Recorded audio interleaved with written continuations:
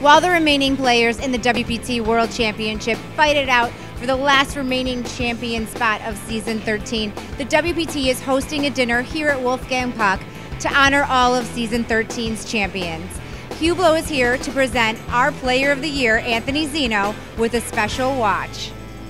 This year in season 13, it's my privilege to introduce you to the Hublot WPT Player of the Year on the World Poker Tour, Mr. Anthony Zinno. Anthony,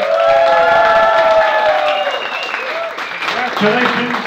You have had a remarkable season here. You have won back-to-back titles on the World Poker Tour. That gave you three titles in all. You are now tied with Gus Hansen and Carlos Mortensen as the winningest players in the history of the World Poker Tour. Congratulations. Thank you, Hublot, for not only this one-of-a-kind Player of the Year watch, but for providing every one of our champions this year a Hublot Player of the Year watch. So thank you very much.